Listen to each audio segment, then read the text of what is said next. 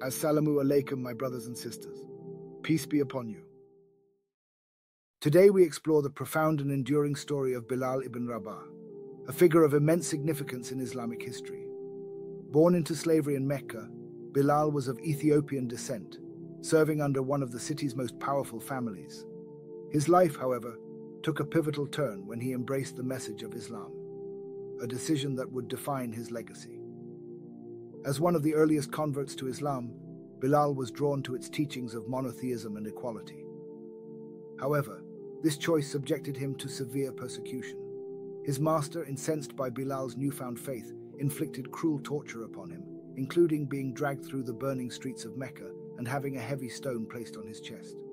Yet, in the face of such adversity, Bilal remained resolute, continually affirming his belief with the words, Ahad, Ahad, God is one. This unwavering devotion caught the attention of Abu Bakr, a close companion of the Prophet Muhammad, peace be upon him. Recognizing that Bilal's freedom was essential, Abu Bakr purchased his freedom, thereby liberating him from the bonds of slavery. Bilal's journey did not end with his emancipation. His deep faith and exceptional voice led the Prophet Muhammad, peace be upon him, to appoint him as the first muezzin, the one who calls the faithful to prayer. Bilal's call to prayer resonated throughout Medina, symbolizing Islam's inclusive and egalitarian spirit. Throughout his life, Bilal remained a loyal companion of the Prophet Muhammad, peace be upon him, participating in many pivotal battles and events. His legacy extends beyond his role as the first muezzin.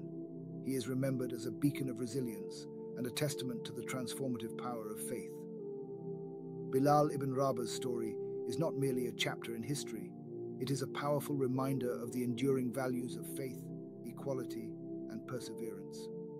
His life continues to inspire, serving as a model of unwavering devotion and inner strength. This is the remarkable life of Bilal ibn Rabah, a figure whose story continues to resonate deeply within the hearts of believers worldwide. If you like this content, please comment, hit the like button, and share it with your friends and family.